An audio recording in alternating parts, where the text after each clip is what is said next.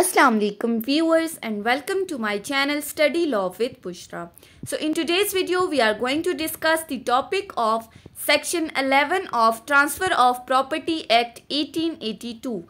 But before starting the discussion, I request you all to please subscribe to my channel and don't forget to press the bell icon for latest updates. Do share this video with your friends and don't forget to comment your feedback. So let's move towards the discussion. Section 11 of TPA 1882. Section 11 basically deal करता है restrictions repugnant to the interest created.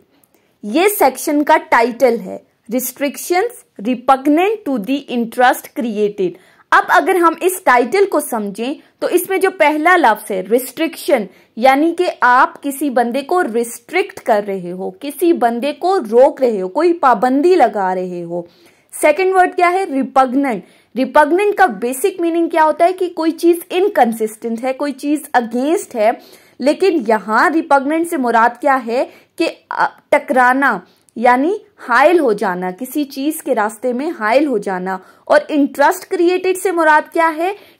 यानी जब आपने अपनी property किसी second person को transfer की है तो उस प्रॉपर्टी को ट्रांसफ़र करते हुए सेकंड पर्सन के फेवर में जो इंटरेस्ट क्रिएट हुआ है, ये उसकी बात की गई है। यानी उसके फेवर में जो इंटरेस्ट क्रिएट हुआ है।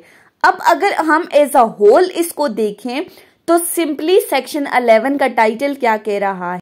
है, टू रिस्ट्रिक्ट या हम ये कह सकते हैं, टू क्रिएट रिस्ट्रिक्शंस कि आप रिस्ट्रिक्शंस लगा रहे हो, पाबंदियाँ लगा रहे हो, जो कि टकरा रही हैं, in the interest created, in the favour of transferee जो ट्रांसफरी के फेवर में जो इंटरेस्ट क्रिएट हुआ है उन इंटरेस्ट क्रिएट होने के बाद उसी इंटरेस्ट के रास्ते में आप कोई रिकावट हाइल कर रहे हो, कोई पाबंदी लगा रहे हो, उस इंटरेस्ट पर जो उस बंदे के फेवर में क्रिएट किया गया है। यानी प्रॉपर्टी तो आपने ट्रांसफ़र कर दी है, लेकिन उसके बाद आप उस पर कोई कंडीशन लगा रहे हो, कोई पाबंदी लगा रहे हो। ये क्या था? ये सेक्शन का टाइटल है। इसका जस्ट हमने सिंपल मीनिंग देखा है। अब अगर हम इसको डिटेल में समझें तो एक एग्ज़ाम्पल के थ्रू मैं आपको बताती हूँ कि इस पूरे टाइटल में वो कहना क्या चाह रहा है। फॉर एग्ज़ाम्पल ए ने अपनी प्रॉपर्टी बी को ट्रांसफ़र की है। अब वो प्रॉपर्टी कोई भी हो सकती है। फॉर एग्ज़ाम्पल आपकी लैंड आपका हाउस आपकी शॉप वो कुछ भी हो सकता है। यहाँ क्या हुआ? ए ने बी को जब प्रॉपर्टी ट्रांसफ़र की तो प्रॉपर्टी ट्रांसफ़र करने के बाद उसने ये कंडीशन लगा दी कि जो मैंने प्रॉपर्टी आपको दी है लेट से उसने उसे हाउस दिया है। कोई मकान उसे बेचा है, कोई मकान उसे ट्रांसफ़र किया है और उस पर वो कंडीशन लगा रहा है कि आप इस मकान को सिर्फ़ रेजिडेंशियल पर्पज के लिए यूज़ करोगे। आप इसको किसी कमर्शियल पर्पज के लिए यूज़ नहीं करोगे। हो सकता है कि उस बंदे ने जो मकान खरीदा हो वो इस नियत से खरीदा हो कि मैं यहाँ अपना कोई बिज़नेस स्टार्ट कर दूँ कोई भी मैं अपना कारोबार कर दूँ। फॉर एग्जांपल अब वो बिज़नेस कोई भी हो सकता है। वो कहता है कि भाई मैं यहाँ कोई ब्यूटी पार्लर खोल देता हूँ या कोई ट्यूशन सेंटर खोल देता हूँ। लेकिन अब वो उसको ट्रांसफ़र कर, करने के बाद क्या कंडीशन लगा रहा है कि आप सिर्फ़ रेजिडेंशियल पर्पज के लिए यूज़ करोगे? अब यहाँ जो इंटरेस्ट क्रिएट हुआ है ट्रांसफरी के फेवर में, वो उस पर पाबंदी लगा रहा है, उसके रास्ते में रिकावट हाइल कर रहा है यहाँ उसने ऑनरशिप ट्रांसफ़र की है। बी उस घर का ऑनर है, लेकिन ऑनर होने के बावजूद भी वो कंडीशंस लगा रहा है तो ऐसी कंडीशंस वॉइड होंगी, ये कंडीशंस वैलिड कंसिडर नहीं की जाएँगी। ये सेक्शन 11 का टाइटल है। एक और एग्ज़ाम्पल अगर हम देखते हैं फॉर एग्ज़ाम्पल ए ने बी को अपनी लैंड ट्रांसफ़र की है और लैंड ट्रांसफ़र करने के बाद उसने क्या कंडीशन लगाई है कि जो मैंने तुम्हें ये ज़मीन ट्रांसफ़र की है, तुम इस ज़मीन पर सिर्फ़ वीट क्रॉप्स उगाओगे, ठीक है? सिर्फ़ गंदम की फ़सल तुम लगाओगे, इसके अलावा कोई फ़सल यहाँ इस लैंड पर तुम नहीं लगाओगे। अगर वो कोई फ्रूट लगाना चाह रहा है, किसी फ्रूट का कोई दरख्त उगाना चाह रहा है तो वो उसे कह रहा है कि ऐसी मैं कंडीशन दे रहा हूँ, ये शर्त रख रहा हूँ कि तुम इस पर ऐसा कोई फल नहीं उगाओगे। तुम सिर्फ़ इस पर वीट क्रॉप्स लगाओगे। सो ऐसी कंडीशन क्या है? वो इनवैलिड है, वो कंडीशन वॉइड है। अब ये जो सेक्शन 11 में हम ऑनरशिप की बात कर रहे हैं, यहाँ ऑनरशिप से क्या मुराद है कि आप एब्सोलूट इंटरेस्ट ट्रांसफ़र कर रहे हो। तो जहाँ एब्सोलूट इंटरेस्ट ट्रांसफ़र होगा तो वहाँ पर जो कंडीशन होगी, वो वॉइड होगी। लेकिन अगर हम ये कहें कि वो बंदा जो प्रॉपर्टी ट्रांसफ़र कर रहा है, वो पार्शियल इंटरेस्ट ट्रांसफ़र कर रहा है। फॉर एग्जांपल लीज के केस में या मॉडगेज के केस में जहाँ पर ऑनरशिप ट्रांसफ़र नहीं हो रही तो अगर वहाँ वो कोई कंडीशन लगाता है तो वो कंडीशन क्या होगी? वो कंडीशन हम कह सकते हैं कि वैलिड है, क्योंकि वो बंदा अभी तक खुद ऑनर है। उसने जस्ट पोजेशन ट्रांसफ़र की है। अब अगर आपको याद हो सेक्शन टेन को आप रिकॉल करें तो सेक्शन टेन में हमने दो कंडीशंस डिस्कस की थी। कंडीशन प्रेसिडेंट और कंडीशन सब्सिक्वेंट कंडीशन प्रेसिडेंट में हमने क्या कहा था कि अभी तक प्रॉपर्टी ट्रांसफ़र नहीं हुई और ट्रांसफ़र करने से पहले वो कोई कंडीशन लगा रहा है। तो अगर कंडीशन वॉइड है तो वो प्रॉपर्टी की ट्रांसफ़र भी क्या होगी? वो भी वॉइड होगी। लेकिन कंडीशन सब्सिक्वेंट में हमने क्या कहा था कि प्रॉपर्टी ट्रांसफ़र हो चुकी है, उसके बाद कंडीशन लगाई जा रही है। तो अगर प्रॉपर्टी ट्रांसफ़र होने के बाद कंडीशन लगाई है और वो कंडीशन वॉइड है तो उस सूरत में ट्रांसफ़र वैलिड ही रहेगी। ट्रांसफ़र पर किसी किस्म का कोई अफेक्ट नहीं होगा, क्योंकि प्रॉपर्टी ऑलरेडी ट्रांसफ़र हो चुकी है कंडीशन आप बाद में लगा रहे हो।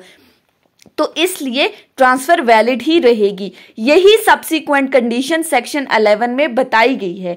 फ़र्क क्या है कि सेक्शन 10 में जो हमने कहा कि प्रॉपर्टी ट्रांसफ़र नहीं हुई ट्रांसफ़र होने से पहले कोई कंडीशन लग रही है? अगर ट्रांसफ़र होने से पहले लगाई हुई कंडीशन वॉइड है तो प्रॉपर्टी की ट्रांसफ़र भी क्या हो जाएगी? वॉइड हो जाएगी। लेकिन सेक्शन 11 में क्या बात की गई है? कि, कि प्रॉपर्टी ट्रांसफ़र हो चुकी है उसके बाद आप कोई कंडीशन लगा रहे हो। अगर वो कंडीशन वॉइड है तो उससे ट्रांसफ़र पर कोई इफ़ेक्ट नहीं होगा ट्रांसफ़र वैलिड ही रहेगी।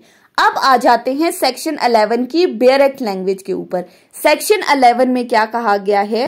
Where on a transfer of property and interest is created कि एक इंटरेस्ट क्रिएट किया है प्रॉपर्टी की ट्रांसफ़र के ऊपर और वो जो इंटरेस्ट क्रिएट हुआ है that interest is absolute interest यानी कि पूरी तरह से आपने वो प्रॉपर्टी अगले बंदे को ट्रांसफ़र कर दी है। पूरी तरह से क्या मुराद है कि पोजेशन के साथ साथ आपने ऑनरशिप भी ट्रांसफ़र कर दी है। In the favour of any person किसी भी पर्सन के फेवर में आपने प्रॉपर्टी ट्रांसफ़र करके इंटरेस्ट क्रिएट किया और उसके बाद आप कंडीशन लगा रहे हो। कंडीशन क्या लगा रहे हो? कि आप ये कह रहे हो that such interest shall be enjoyed by that person in a particular manner आपने कंडीशन क्या लगाई है? That now you can enjoy that interest only in a particular manner एक खास मैनर में आप इस इंटरेस्ट को इंजॉय कर सकते हो। डायरेक्शन दी जा रही है। अब यहाँ पर्टिकुलर मैनर से क्या मुराद है? वही बात जो हमने एग्ज़ाम्पल में डिस्कस की थी कि आपने घर को सिर्फ़ रेजिडेंशियल पर्पज के लिए यूज़ करना है।